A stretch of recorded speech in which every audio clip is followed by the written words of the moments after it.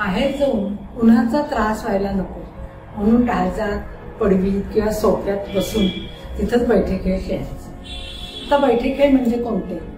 गजगे सागरगोटे अं, विटी दांडू भिंगऱ्या जिबल्या चुळमुळ खेळायचं किंवा चुलीतलं सरपण काढून त्याचं विटी दांडू करायचा भिंगऱ्या बनवायच्या. असे बैठे खेळ तिथं खेळायचे. लहर आली हुक्की आली लहर आली की काळी कुळकुळी पाठी घ्यायची आणि दगडा घासायची.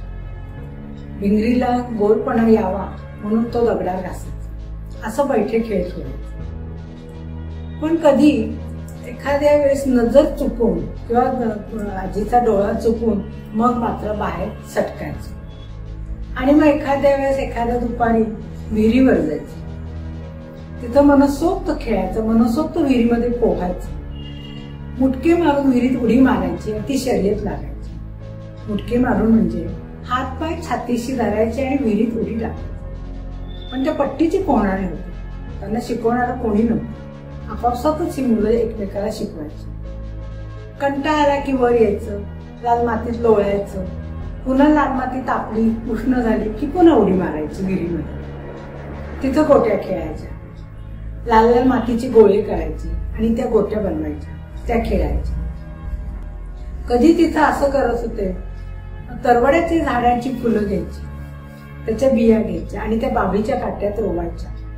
आणि मग बाबीच्या काट्याला एका बाजूने दोन बाजूने अशा शेळीच्या लेंड्या लावायच्या आणि अशी मार करायची. असे कितीतरी खेळ मुलं खेळायचे. आणि मग विहिरीत पोहून झालं खेळून झालं मनसोक्त खेळायचं पोहायचं डुबायचं लाल मातीत लोळायचं कंटाळा आला की परत विहिरीत उड्या मारायचं आणि मग जायचं देवळामध्ये निवांत. तिथं जाऊन त्या लोकांची झोपमोड करायची. तिथली लोक राबवले की परत फिरायचे.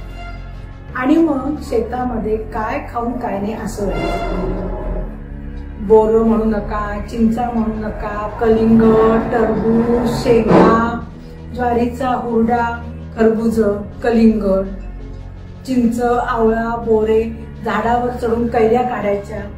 झाडावर चढून पेरू टाका काढायचं. पेरू खाली टाकायचा. तो खाली पडलेला पेरू खायचा.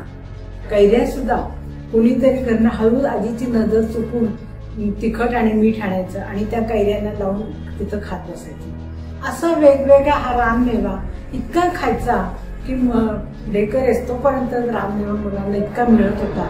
आणि लेखकांनी आणि त्याच्या मित्रांनी भावांनी अतिशय तर मनसोक्त आनंद या राममेव्याचं लुटलेलं. आणि मग घरी यायचं. लाल डोळे पांढरं अंग बघितलं की आजी ओळखायची. काय झालं? मग आजीचं मार खायचं आजीची बोलणी खायची. आणि मग संध्याकाळी मात्र जेवणावर ताव मारायचा. भरपेट जेवण करायचं. आणि अशा याच्यामध्ये अभ्यास करायचा. घेऊन लेखक आणि त्याचे भाऊ भाऊ आजीच्या धाकात वाढत होते. प्रेमात वाढत होते. शिस्तीत वाढत होते. आणि मोठे होत होते. असंच धाकात प्रेमात शिस्तीत वाढता वाढता लेखक मोठे होत गेले मोठे बनले. आणि आज त्यांची क- ओळख आपण प्रथम प्रस्तावनेत पाहिलीच आहे. अशी ही आजी संस्कारक्षम आजी घराचा आधार असलेली आजी भक्कम पा घराचा भक्कम आधार भक्कम पाया म्हटलं तरी चालेल. आणि म्हणूनच आजीला एक आगळ अशी उपमा दिली आगळ म्हणजे आजी ही उपमा अगदी तंतोतंत लेखकांनी दिलेली आहे. कारण आहेच तशी आजी. अशा आजीचे वर्णन आपण आता ह्या पाठामधून पाहिले आणि आजीचं कर्तृत्व आजीचा आधारही आपण पाहिला आजीची शिस्त पाहिली.